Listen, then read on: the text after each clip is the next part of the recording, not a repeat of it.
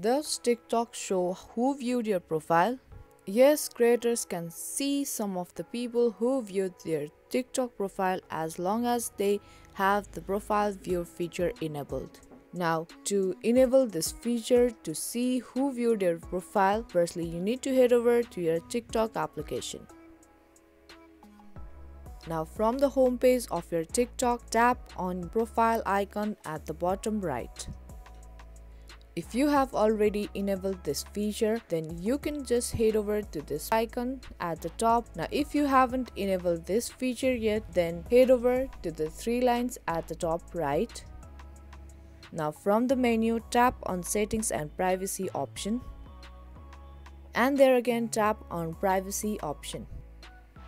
Now scroll a bit down and there you will be able to see profile views option. Tap on it and then tap on the slider to enable this feature. Now once you enable this feature, you can see who viewed your profile in the past 30 days and allow other people to see that you viewed theirs.